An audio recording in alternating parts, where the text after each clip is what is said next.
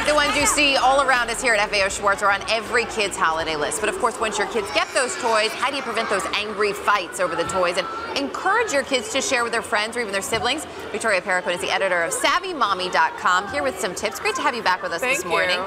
The sharing lesson is so difficult, but it turns out we're really not born to share. You know, you're right. Children are not born with the instinct to actually share. They are born with their own point of view and then they learn what's around them. So it's really important for us to understand that, that, you know, they're adamant about not sharing because they're not born with that. So, so at what age then can can you teach them that lesson and, and, and know that it's really starting to get when through? they're a lot older than toddler age. Yeah. And you know, everyone thinks that the toddler should know to share automatically, but they shouldn't know at toddler age yet. They're still learning just, you know, about their surroundings. So it's, it's they get very frustrated when a toy is taken away from them or when a toy is not given to them immediately. So they get confused and it's not really their turn to share Okay. when they're a toddler. So I know as parents we need to set a good example and, and, and share on our own, but also when you're dealing with toddlers, in addition to setting that lesson, uh, how do you teach them that without forcing the lesson if they're not ready? Well, because toddlers want to emulate everything they see their parents do, let them see you sharing at all times and then praise them when they are sharing. So that way they'll know this is a good thing for me to be doing. I'll continue to share because mommy and daddy really are excited about when I share.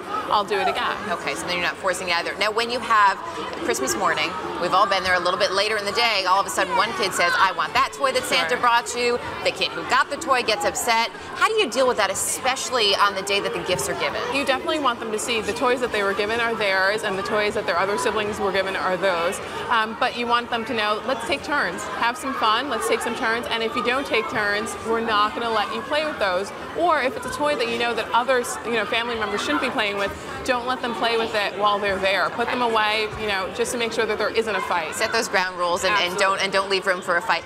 Is it ever okay for a kid to be selfish? Actually, it is because you don't want them to be a pushover. You want them to learn when they're supposed to be sharing and when they're not supposed to be sharing. And it sounds very strange, but it's true.